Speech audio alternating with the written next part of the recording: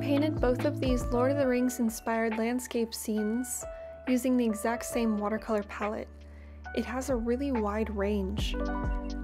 Notice how in the Mordor scene there's really cool tones and it makes for a colder looking environment and then in the Shire scene there's so many warm yellows and beautiful greens. I really enjoy this palette and I'm new to landscapes, so hopefully I get better and one day I'll be able to paint Rivendell. If you'd like to learn about watercolor landscape tips while also watching Lord of the Rings scenes come to life, definitely check out my palette review and landscape video.